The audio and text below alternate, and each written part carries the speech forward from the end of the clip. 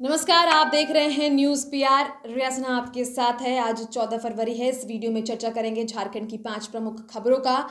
सबसे पहले बताएँ कि राहत की खबर ये आई है कि सीबीएसई ने गाइडलाइन जारी किया है, जिसमें यह बताया गया है कि अगर छात्र की तबीयत बिगड़ती है या तबीयत ठीक नहीं होती है तो स्वस्थ होने के बाद उनका अलग से प्रैक्टिकल हो सकेगा। सीबीएसई ने प्रैक्टिकल परीक्षा के लिए गाइडलाइन जारी की है। कोविड के कारण एक बार में पच्चीस छात्रों की परीक्षा ली जाएगी। स्कूल अपने अनुसार 25 बच्चों को दो ग्रुप में बांटकर भी परीक्षा ले सकते हैं। अगर किसी विद्यार्थी की तबीयत ठीक नहीं है तो उसकी परीक्षा के लिए अलग व्यवस्था स्कूल को ही करनी होगी। वहीं इस साल वाइवा में एग्जामिनर और छात्र आमने सामने नहीं रहेंगे, एक ही दिशा में देखते हुए सवाल जवाब किए जाएँगे। स्कूलों को गाइडलाइन का पालन करना है और परीक्षा नियंत्रक डॉक्टर संयम भारद्वाज ने बताया कि एक मार्च से 11 जून तक प्रैक्टिकल परीक्षाएँ होंगी।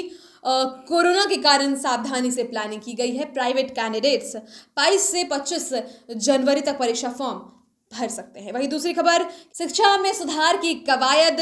प्रदेश के सरकारी स्कूलों में छियालीस दशमलव आठ शून्य लाख बच्चे हैं, जिनमें सामान्य वर्ग के केवल एक दशमलव नौ शून्य प्रतिशत, नौ शून्य लाख, यानी सिर्फ़ तीन दशमलव पाँच प्रतिशत बच्चे हैं। पहली बार जाति आधारित अध्ययन किया गया है। सामान्य वर्ग के कम ही लोग अपने बच्चों को सरकारी स्कूलों में पढ़ा रहे हैं। पहली से बारहवीं तक कुल छियालीस लाख उनासी हज़ार छः सौ बासठ छात्रों में से सामान्य वर्ग के केवल एक दशमलव नौ शून्य लाख बच्चे पढ़ते हैं। यह संख्या कुल छात्रों का करीब साढ़े तीन फ़ीसदी है। इन स्कूलों में करीब पचास प्रतिशत से अधिक बच्चे ओबीसी कैटेगरी के हैं।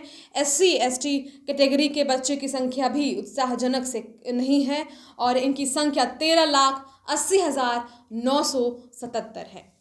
वही बताएँ आपको कि घर दुकान के सामने लोग कचरा ना जमा न होने दें। अब जिस घर के सामने मिलेगा कचरा उससे नगर निगम वसूलेगा पाँच सौ रुपये का जुर्माना। शहर की सफ़ाई व्यवस्था दुरुस्त करने और स्वच्छता सर्वेक्षण को लेकर नगर निगम पिछले एक महीने से अभियान चला रहा है। निगम कचरा हटाता है और लोग फिर उसी जगह को फिर गंदा कर रहे हैं। यह बातें शनिवार को नगर आयुक्त तो मुकेश कुमार ने कही। उन्होंने कहा कि शहर को स्वच्छ रखने के लिए अब निगम सख्ती से पेश आएगा। गली मोहल्ले में स्वच्छता अभियान चलाया जाएगा। वहीं रेलवे की दो खबरें हैं। पुणे हावड़ा आज़ाद हिंदी एक्सप्रेस आज से चलेगी और रात एक बजकर पच्चीस मिनट पर टाटानगर पहुंचेगी। अब पुरलिया झाड़ग्राम में भी रुकेंगी स्पेशल ट्रेनें। पुणे हावड़ा आज़ाद हिंद एक्सप्रेस का परिचालन 11 महीने बाद आज से दोबारा शुरू हो गया है। दक्षिण पूर्व रेलवे जोन की ओर से तय समय सारणी के अनुसार ट्रेन शून्य दो दो सात नौ चौदह फरवरी को पुणे से हावड़ा के लिए खुलेगी व पंद्रह फरवरी को देर रात टाटानगर पहुंचेगी, जबकि ट्रेन शून्य दो दो आठ zero Howrah Pune special Azad Hind express सोलह फरवरी को हावड़ा से रात नौ बजकर पचास मिनट पर पुणे के लिए रवाना होगी।